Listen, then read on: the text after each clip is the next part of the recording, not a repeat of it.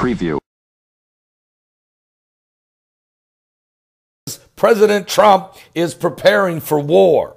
He has canceled his South American trip. He'll be sending Vice President Mike Pence to South America. The president is going to stay home to oversee the American response to Syria. In other words, he's preparing for war. He had all of the top generals in the office yesterday, and then they go and raid his lawyer's office and hotel room. The president is getting ready to respond. The United Nations are going to be debating the situation today. And Trump has announced he has canceled his trip to South America. Instead, Vice President Mike Pence will go. President Donald Trump canceling his scheduled trip to multiple South American countries, originally planned for this week. But the White House is saying, in a statement, Press Secretary Sarah Huckabee Sanders said the president will not attend the eighth annual summit of the Americas, which is held in Lima, Peru, nor will he travel to Bogota, Colombia, as originally scheduled.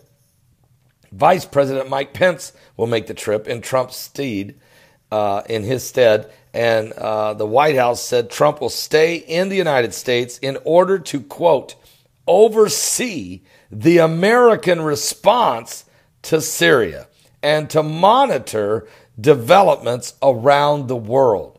This is a clear indication that a military operation is in process. Trump prepares for war. And the surprise change to an event scheduled for later this week came amid Trump's continued effort to negotiate trade deals and his continued anger over the special counsel Russia's probe and recent raid on his personal lawyer's residence and office.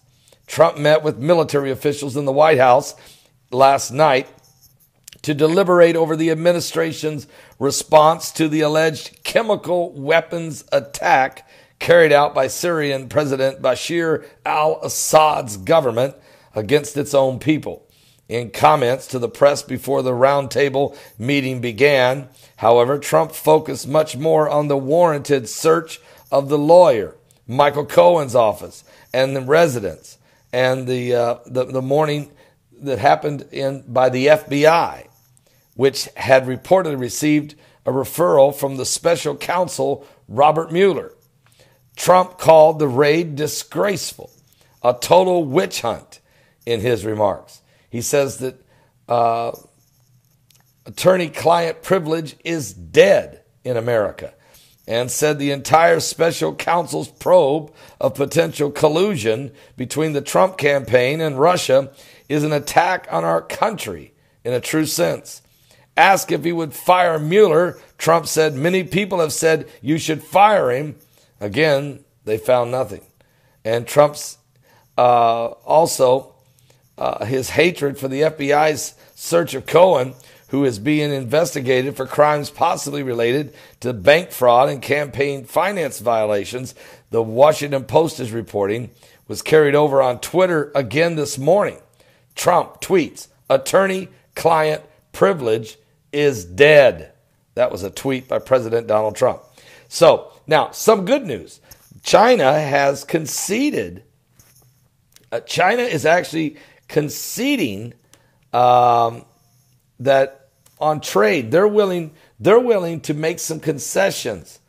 So, Trump has brought them to the table, and they're now willing to make some concessions to keep Trump from implementing these tariffs this could be a breakthrough because Trump's trying to create a level playing field for the American uh, import export uh, that's so out of balance. Folks, you better hang on.